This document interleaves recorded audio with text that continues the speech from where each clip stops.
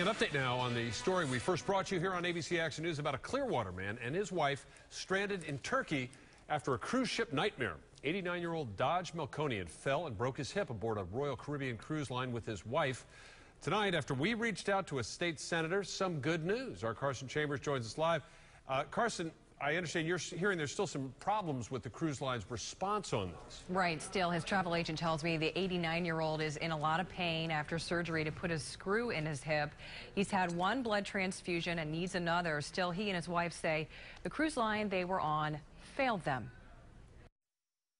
He had a surgery. He's under recovery. We're not sure how, what's going to happen with the surgery. 89 year old Dodge Melkonian is finally being cared for at an American hospital in Istanbul after falling and breaking his hip on a cruise ship in Turkey. Can you please tell me why it's taken you four days to respond to me? Royal Caribbean, the cruise line, left Melkonian and his wife at port to fend for themselves, according to his travel agent. She says they were transported to a hospital where English was rare and the conditions were suspect. Tonight, she also says the cruise line's lack lack of oversight has only made matters worse. And I said, why wasn't anybody there with them? Well, it was a very remote location. I said, I really don't care. He had an injury that needed surgery. So you needed to bring a representative with you there with him. Tammy Levin says the travel insurance policy was set up by Royal Caribbean because the cruise was complimentary. Now their hospital bill is adding up $10,000 a day.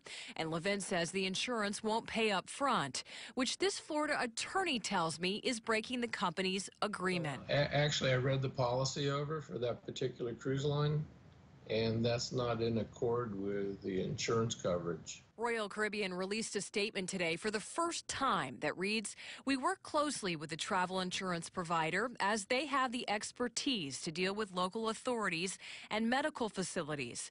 His travel agent says the response is misleading and a little bit too late. They're not looking for charity. They're not looking for anyone to donate or give anything. They just want it to be done what's right. And Dodge Melkonian is expected to need hospital care for up to 10 days. Meanwhile, his travel agent is working with Senator Bill Nelson to make arrangements to eventually bring him home. I'm Carson Chambers. Back to you. Thank you, Carson.